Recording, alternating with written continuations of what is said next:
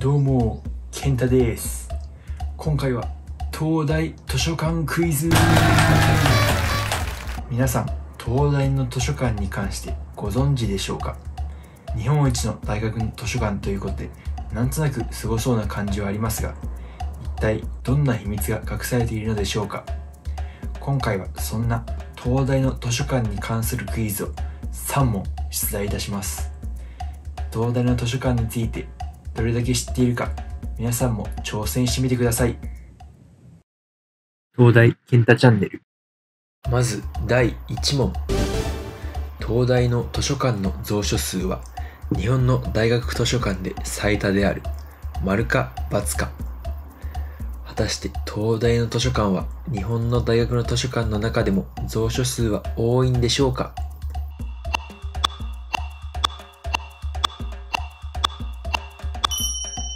正解は丸。1位が東京大学で974.6万冊。2位が京都大学。712.6万冊。3位が日本大学で570.4万冊です。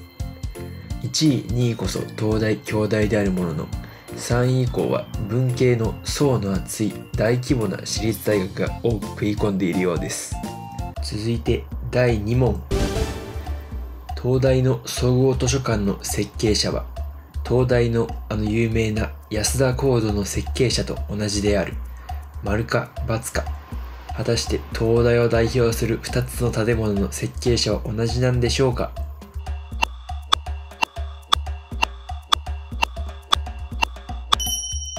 正解は丸です。総合図書館も安田講堂もどちらも内田義和さんという方の設計によるものです。この方は東京帝国大学の建築学科で構造計算法や鉄骨鉄筋コンクリートの工業を担当していた方です。東京帝国大学の総長を務めたこともあります。総合図書館や安田講堂の他にも医学部や農学部のメインの建物や僕が所属していた理学系研究科生物科学専攻の本部がある。理学部2号館の設計もこの内田義和さんによるものです。第3問。東大の附属図書館にある資料費の総額はいくらでしょう？A2000 万円。B2 億円。C20 億円。資料というのは図書と蓄時間鉱物を全て合わせたものを言います。果たして東大の全ての図書館にある資料費全部でいくらなんでしょうか？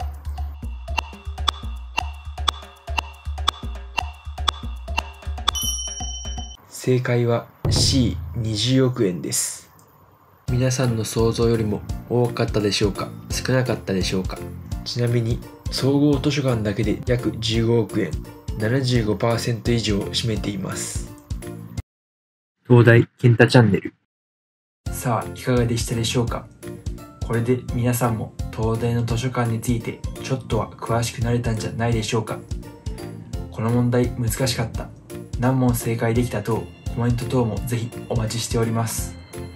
この動画が良かったと思いましたら高評価チャンネル登録よろしくお願いします。それではまた次の動画でお会いしましょう。